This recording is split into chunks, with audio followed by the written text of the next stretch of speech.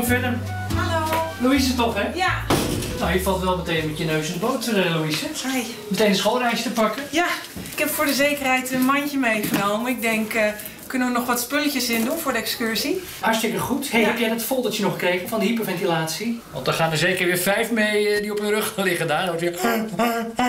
Dat wordt moet, Ja, dus plastic zak. ja, ja, je moet met een plastic zakje over de... Ja, ja, ja, schei uit. Hey, kun je even naar de conciërge en vraag dan even het potje met Ritalin? Doe er 100 in een zakje. Ritalin. Ritalin voor ADHD'ers. Maar dat werkt toch heel verdovend?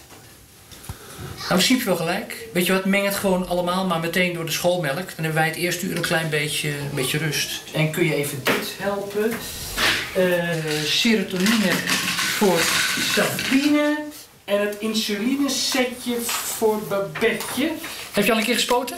Nee, nee. Nou, wat een leuke leerschool voor jou, hè? Deze reis. Ja. Hartstikke goed. Oh ja, de dwangbuis voor Tobias. Die gaat natuurlijk weer roze spekjes zitten vreten. Zijn dikke kop. Eh, ontbijtkoek voor de anorexia nervosa. Je Marjolein en Fleur wel eens zien kotsen? Nee. Oh, dat is lachen, joh. Daar moeten we echt nog een keer een YouTube-filmpje van maken. Oh, houd een blokje. Waar is dat voor? Stefan, epileptisch. Dan. Wat is dat? Kloezendoden. Als straks de Ritalin is uitgewerkt bij Pieter Joost en bij Erik, nou dan ga je nooit beleven hoor. Nigel de Jong, daar staat een kleine jongen bij. Zo. Mee.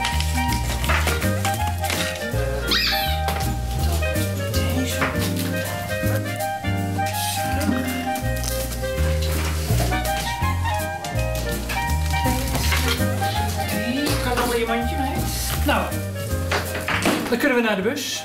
Bus, het is toch hier achter het schoolplein? Paulien, Elske, Samira. Straatvrees. Hey Tim! ja, Louise. Tenminste nog één leerling waar helemaal niks meer aan de hand is.